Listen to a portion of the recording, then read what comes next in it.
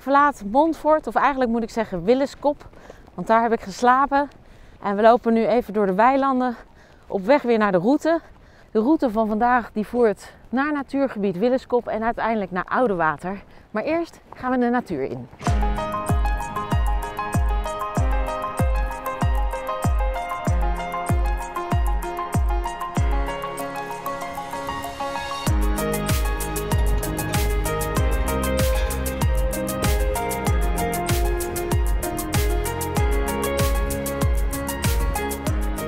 Goedemorgen.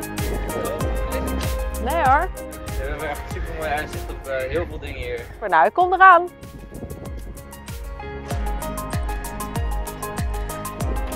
Zo, goedemorgen. Edwin, uh, jij bent boswachter Ja. in de Willeskop. Ja. Wat Ja. is dit voor gebied? Ehm, wat je hier ziet is een, eigenlijk al een heel oud gebied. Uh, Willeskop zelf, hier het water wat je ziet, dat is in 2002 eigenlijk ontstaan of ontwikkeld als een natuurgebied zeg maar. Het is een rustgebied in de winter, maar eh, het is ook een, een, een pauzegebied zeg maar, waar de vogels op doorreis eh, komen om te pauzeren. Je hebt hier de, de, de, de purperreiger, de koereiger, die wordt hier af en toe ook gezien. Fietsen is hier niet toegestaan, dus het is echt een wandelpad. Eh, die oude bossen die daar staan, dat is een oude eendenkooi. Dus dan hebben we het echt over ja, de 12e eeuw, 11e eeuw. Die eendenkooi die is niet meer in gebruik. Eh, dus wat je daar ziet is dat de natuur echt zijn gang kan gaan. Er zijn bijna nergens op de wereld zulke soort plekken als dit. Je hebt overal wel bos, je hebt overal wel duingebieden en dergelijke. Maar polders zoals dit, dat vind je bijna nergens. En ik verlaat natuurgebied Willeskop. En in de verte zie ik de kerkklok van de Oude Wateren opdoemen.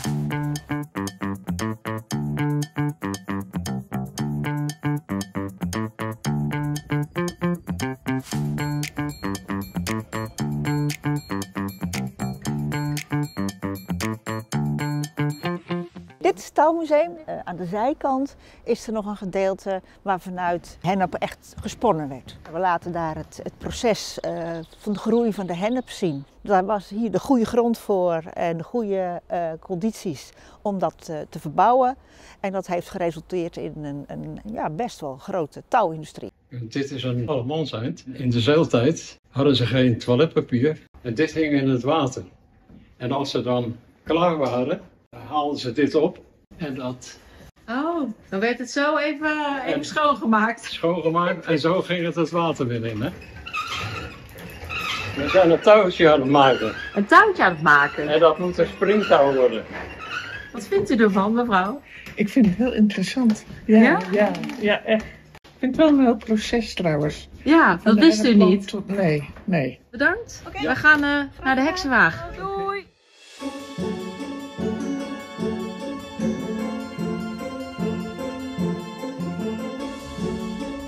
Nou, dit is dus de waag uit 1482. Het is de originele waag. Elke stad had vroeger gewoon een waag. Eh, een waag was om goederen op te wegen eh, voor de handel. En in Oudewater was dat niet anders. Oudewater was een welvarend stadje.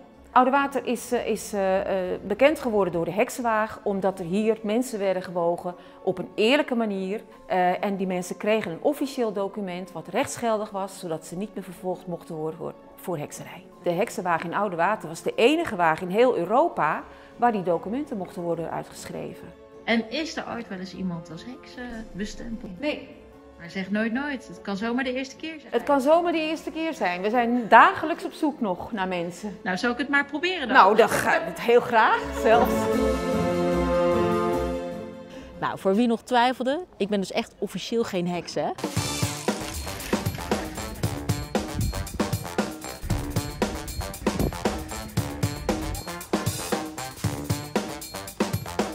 Ik kan helemaal ronddraaien. Hier zie ik een oude stadspoort.